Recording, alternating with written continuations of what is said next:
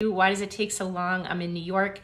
I don't know New York's processes, but I know here so in Norfolk County right now is incredibly backed up. And unfortunately, the pandemic has made the court system even worse, where I think a lot of lawyers were hoping that once things started going virtually, that they'd be able to utilize the virtual system in order to make the process better. Haven't seen that actually working out. And I understand it's probably difficult. You know, I'd love to say, oh, I'd do it, you know, so much better.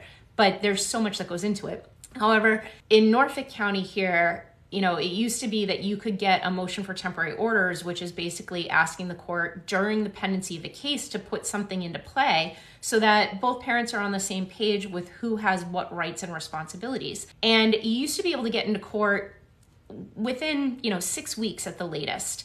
And now we're seeing, you know, especially in Norfolk court, our motion for temporary orders aren't being set down for months and we literally have to go into court on motions for short orders asking for it to be heard sooner than in the regular course of time because there's an issue that can't wait that long.